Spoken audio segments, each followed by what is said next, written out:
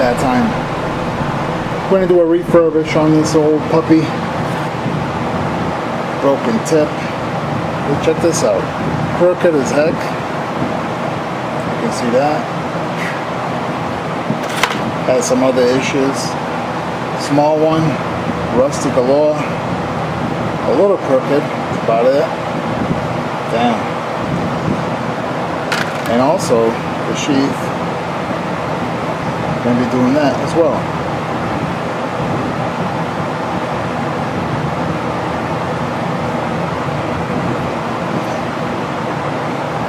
So the maker for this, oh, right here.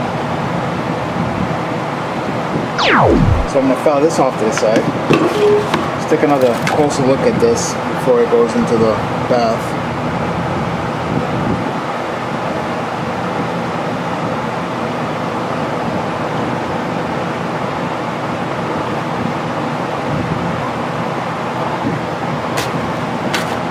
All right. Time for the magic solution. Don't even ask me what this is, guys. Seriously. I'll have to come and get you. Also, this has aluminum. You don't want to leave the aluminum in here too long. It'll eat it.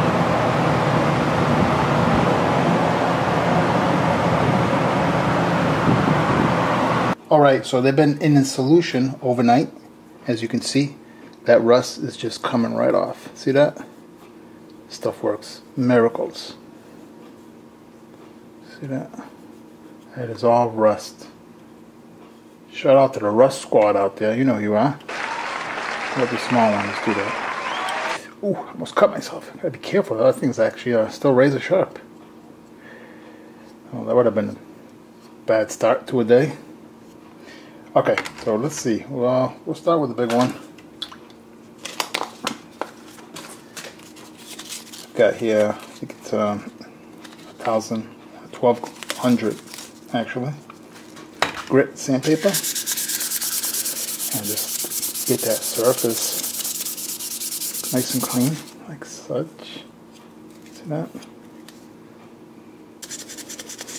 Now here, where the ricasso is, I usually go this way.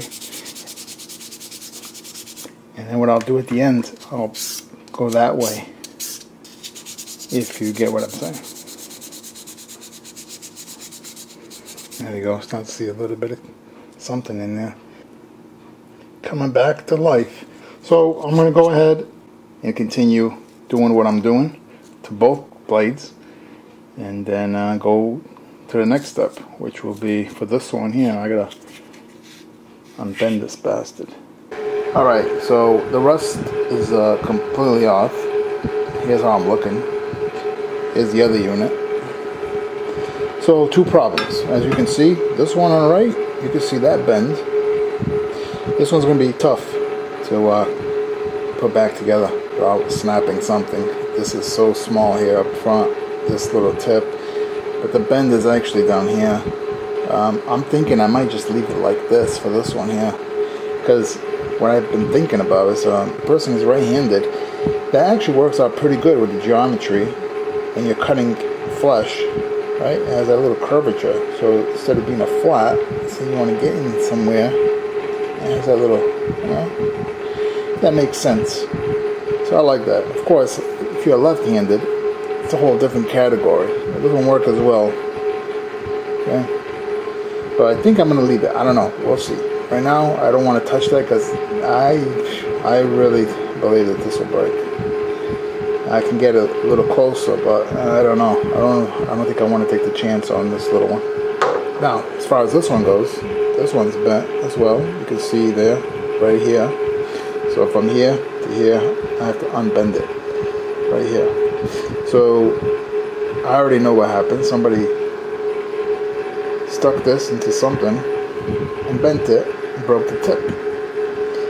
So yeah, uh, I'm gonna go try unbend this and come back to you with the results. Wish me luck. All right, update. I did get it a little closer to where it's supposed to be, but I'm not to go any further than this. Um, so as you can see, I ended up getting this a little closer to being true center, uh, just slightly.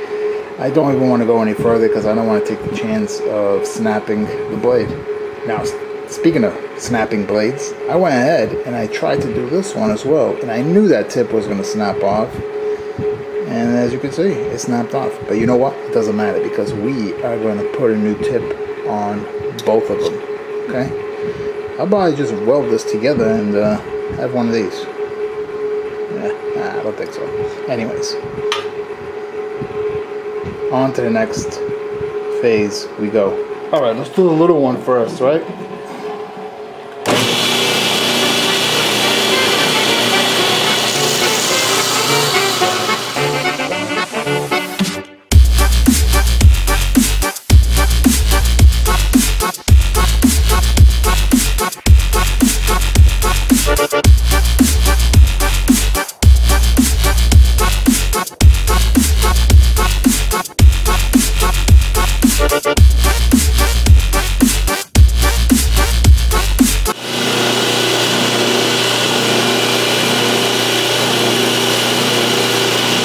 Fix all this up here, make it blend it all in. That'll look good. Good as new. Alright, so the tips are looking pretty damn good. What do you think? There's one. There's the other one. This one I left a little bit of meat uh, left behind. That way when I sharpen it, I'll come up to it uh, on the whetstone, coming to a nice fine little needle point. Like that one.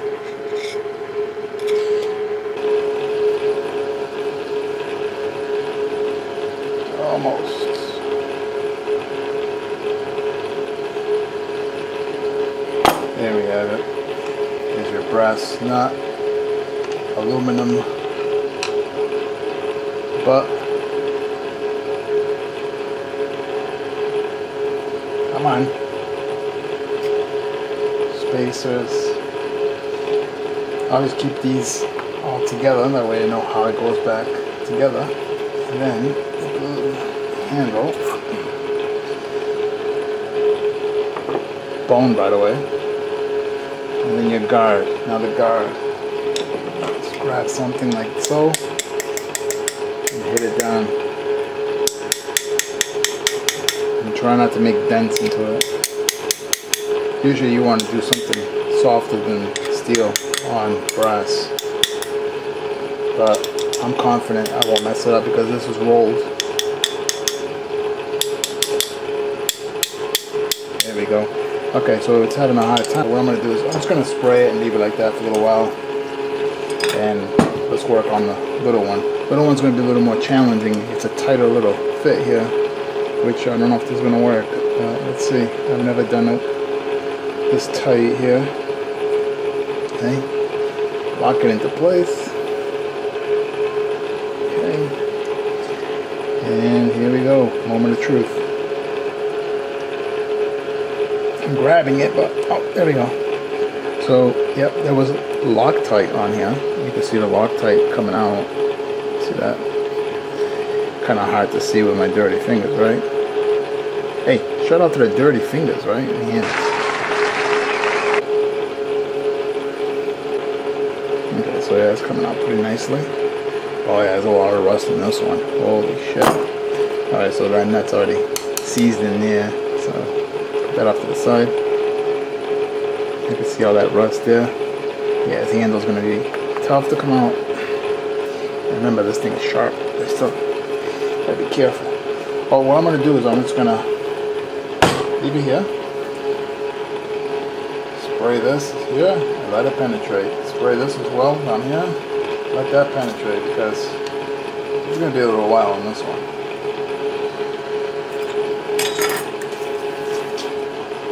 There we go.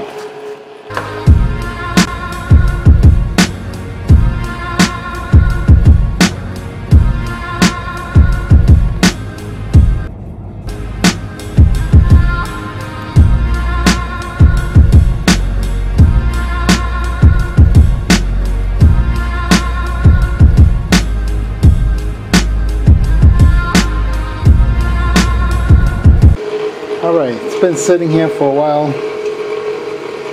See if I can get this out of here. If not, I'm just going to work around it. I really don't want to take too much time with this. Alright, let's see if I can do it like this. Actually, not. Like that.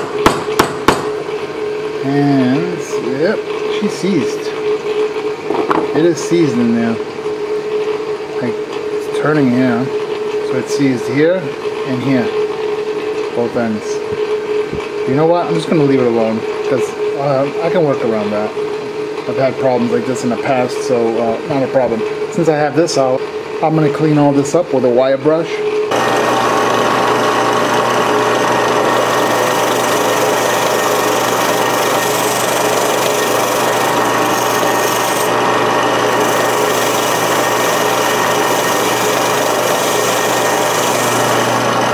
Alright, now this blade.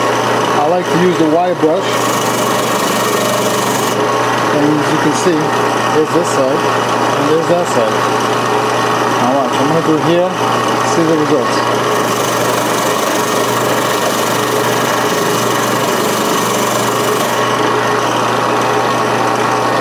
Better, right? Let me continue doing this while you guys talk amongst yourselves.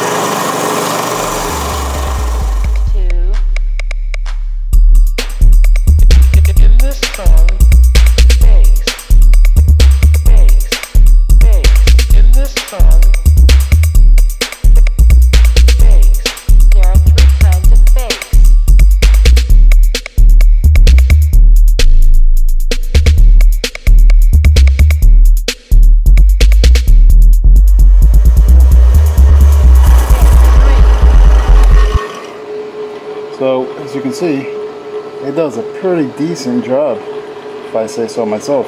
What do you think?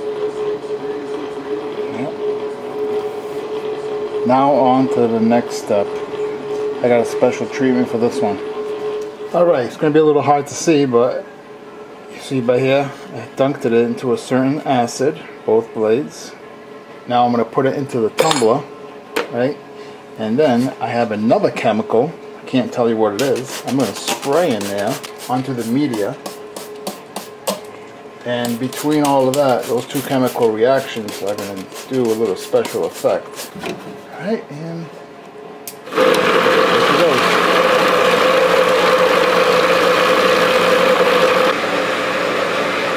Always a pain in the ass when you get a brand new buffing wheel. I like them when they're old because they're broken in. When they're new, these things are messy.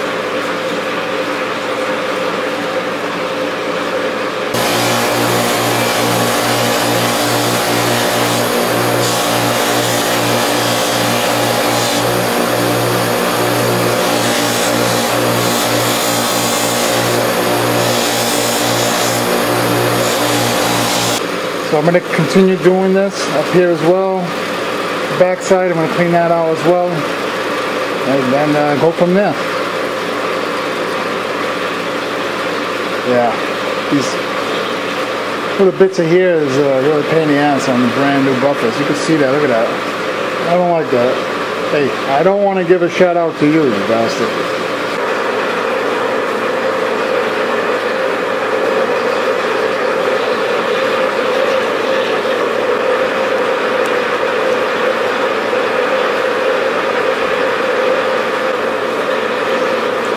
See, the leather's coming back to life, right?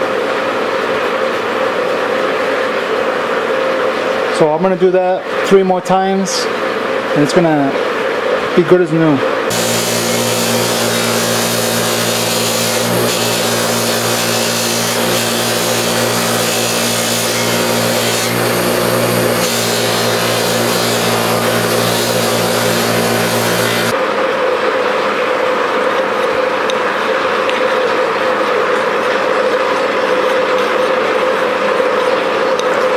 Knocking off those burrs that was on him. I don't know what that is right there.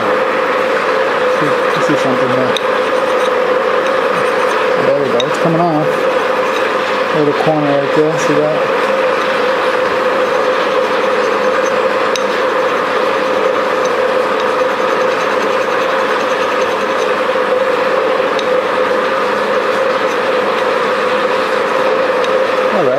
Pretty good, that corner up there. Yeah, still not sure what that is. It looks like an imperfection on the bone or something. Something got hit or whatever it may be. Something towards that nature. Alright, so that's looking pretty good, huh? Those surfaces there. Pulling it off a little bit. Not too much. Now this side here. Go around.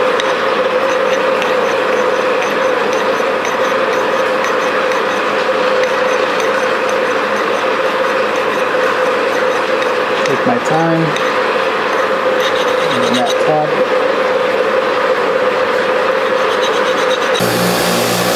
Oh, and it's going on my face. Yeah, I hate this wheel already. Look what it does, see? See that? See what it's doing? Now you can see why I don't like brand new wheels. Alright, just pulled them out of the tumbler. You can see. Looking pretty good, huh? And the hardware as well. You can see that coming back to life right there. Look at that. Versus this side.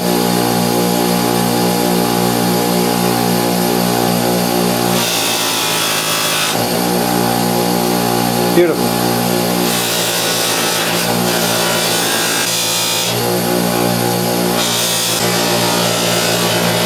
All right, time to put Screaming Edge on both of these suckers. Let's do this.